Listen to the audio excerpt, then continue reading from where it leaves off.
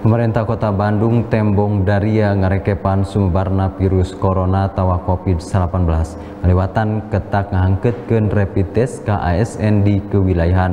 Eta tarekate disorang goni ngarekepan sumberna virus corona utamana di papada ASN di kewilayahan anu rawan katerap lantaran pagiling gisik jeung masyarakat.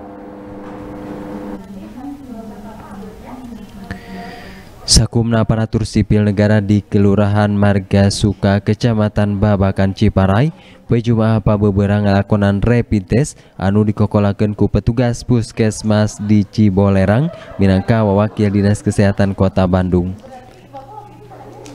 Eta kegiatan rapid test ka para ASN kewilayahan teh dilakonan nggoni ngarekepan sumbarna virus corona atau COVID-19 utamana di lingkungan kewilayahan anu kawilang rawan katerap penyakit lantaran remen pagiling gisik jeung masyarakat Lurah Marga Suka Rudisman nemberakeun aya 10 orang ASN di Kelurahan Marga Suka anu ngalakonan rapid test. Dina jumlah anu 10 orang teh hasil rapid testna dicindekeun negatif atau non reaktif COVID-19.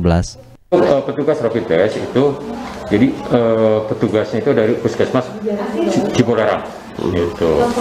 Jadi pada hari ini tanggal Jumat tanggal 26 ini rapid test itu ada dua tempat yaitu di Kelurahan Marasuka dan Kelurahan Cirangrang. Hmm. Gitu. Pak, untuk jumlah yang dites sendiri di Kelurahan Marasuka berapa orang nih Pak? Uh, jumlah keseluruhannya itu sekitar 10, 7 ASN, 3 non ASN. Sajeroning itu data di Kecamatan Babakan Ciparai Kota Bandung ayat 70 ASN anu ngalakonan rapid test COVID-19.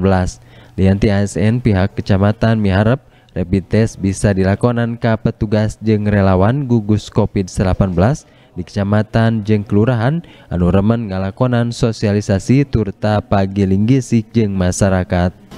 Mengajukan usulan ke Dinas Kesehatan Kota Bandung untuk melakukan rapid test terhadap eh, ASN sekecamatan Bakan Ciparai karena eh, para ASN ini ditugaskan oleh Pak Wali Kota untuk secara aktif melakukan sosialisasi kepada masyarakat eh, dalam rangka pencegahan COVID ini.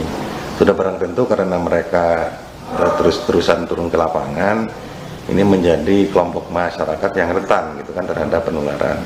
Alhamdulillah dari Dinas Kesehatan Kota Bandung eh, di ACC sebanyak eh, 70 orang untuk dilaksanakan rapid test ASN sekecamatan Babakan Ciparai yang dilaksanakan di masing-masing puskesmas di Babakan Ciparai. Eta kegiatan rapid test anu dilakonan ke para ASN di kewilayahan teh mangrupa ketak pemerintah kota Bandung anu daria lebah ngahiritan sumbarna virus COVID-19.